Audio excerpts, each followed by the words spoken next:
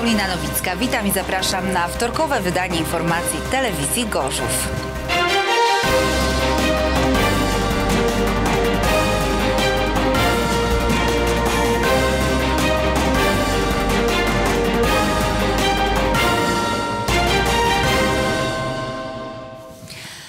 Szpital w Gorzowie przystąpił do programu badań przesiewowych noworodków w kierunku rdzeniowego zaniku mięśni.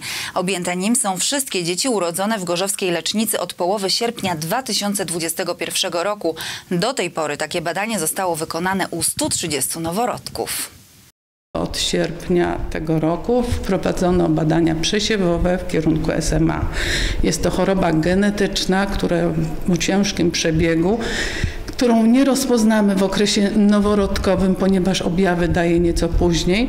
Natomiast możemy zbadać określony gen, który nam potwierdzi bądź wykluczy daną chorobę i w związku z tym możemy wcześniej, ponieważ jest metoda leczenia, włączyć leczenie, które zapobiegnie y, y, uszkodzeniu właściwie i rozwojowi, nieprawidłowemu rozwojowi dziecka, ponieważ choroba ta powoduje uszkodzenie neuronu ruchowego y, w obrębie rdzenia kręgowego, powoduje zaburzenie skurczu i rozkurczu mięśni, powstają porażenia układu oddechowego, czyli mięśni układu oddechowego, które mogą powodować niewydolność oddechową i w konsekwencji śmierć, jeżeli dziecko nie będzie prawidłowo prowadzone bądź wentylowane niestety do końca życia czasami. Te badania przesiewowe wykonywane są w określonych placówkach w zależności od e, województwa i jeżeli w ciągu dwóch tygodni nie ma informacji, że dziecko jest chore, to znaczy, że dziecko jest zdrowe i właściwie rodzice nie dostają żadnych informacji o tym, że należy y, no, skonsultować się z dzieckiem z jakimś problemem. Brak informacji ze strony laboratorium, do którego my wysyłamy e, badania, to jest dobra informacja. E, w każdym e, przypadku, jeżeli badań, e, wynik badania jest nieprawidłowy lub budzi jakiekolwiek wątpliwości, laboratorium ze Szczecina samo kontaktuje się z rodzicami dzieci, które są u nas badane.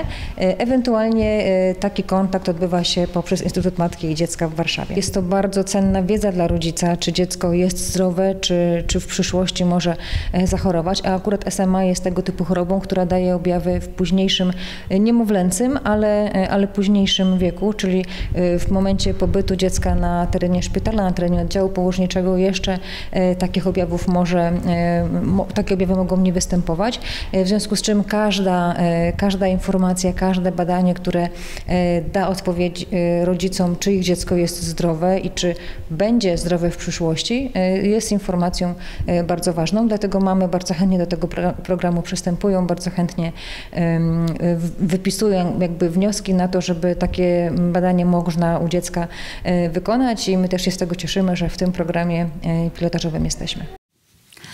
Park Rangorzów doczeka się nowego oznakowania.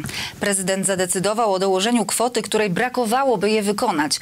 Teraz można już zakończyć procedurę wyłonienia wykonawcy i przystąpić do prac. Oznakowanie jest zadaniem zgłoszonym przez mieszkańców do budżetu obywatelskiego. Trasa w Parku Kopernika zostanie oznaczona słupkami. Będą one pokazywały kierunek biegu czy marszu. Na początku trasy zostanie też postawiona tablica informacyjna z jej całym przebiegiem. Wcześniej przygotowano już dokumentację projektową, a w zapytaniu ofertowym wyłoniono wykonawcę. Ten zaproponował jednak kwotę wyższą niż zaplanowano w budżecie. Teraz prezydent zdecydował, że z pieniędzy zaoszczędzonych na innych inwestycjach kwota zostanie dołożona. Park Run to propozycja aktywnego wypoczynku polegająca na pokonaniu 5 kilometrów dowolną techniką, biegiem, truchtem, marszem czy spacerem. Odbywa się każdej soboty. Zmiany w centrum Gorzowa na części skrzyżowania ulic Chrobrego z Jagieły i Wybickiego drogowcy wylali nowy asfalt oraz ułożyli krawężniki. Nowa nawierzchnia pojawiła się na południowej części od strony Arsenału. Co istotne, najprawdopodobniej w połowie października drogowcy rozpoczną pracę na jezdni bliżej dawnego kina Słońce. Aktualnie najbardziej intensywne roboty prowadzone są w miejscu, gdzie jeszcze niedawno pracowali archeolodzy. Drogowcy przygotowują tam podbudowę pod nową drogę i tory tramwajowe. Przypomnijmy, że zgodnie z umową przebudowa ulicy Chrobrego i Mieszka I ma zostać zakończona do końca tego roku, ale wszystko na to wskazuje, że termin ten zostanie wydłużony. Wracamy do Media Tripu z udziałem dziennikarzy po inwestycjach realizowanych z funduszy europejskich na północy regionu. Tym razem pokażemy Państwu firmę z podgorzowskiego Lubiszyna, która zajmuje się refabrykacją aut renomowanych marek. Firma ma zamiar wprowadzić w ten proces kolejne innowacje. Firma Dr. Classic zajmuje się renowacją pojazdów zabytkowych. Przywracamy stare auta do fabrycznej jakości. E, Specjalizujemy się w markach Porsche, e, Ferrari e, i Mercedes.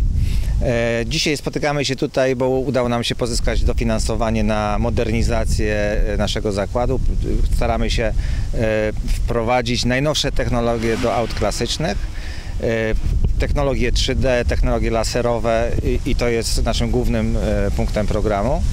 E, Nasz zakład bardzo szybko się rozwija, w związku z tym potrzebujemy więcej osób do pracy, szukamy specjalistów, szczególnie w dziedzinie blacharstwa e, i też tego dotyczy właśnie program unijny. Nowy trend jest, żeby zastąpić silniki spalinowe e, napędami elektrycznymi. Udało nam się e, e, pozyskać pomoc i mamy podpisany w tej chwili list intencyjny zarówno z Porsche i Mercedesa na wprowadzenie jednostek napędowych do aut klasycznych. Także będziemy opracowali całą technologię, adoptować e, e, technologię e, napędów elektrycznych do aut klasycznych. Fundusze też zmieniają auta.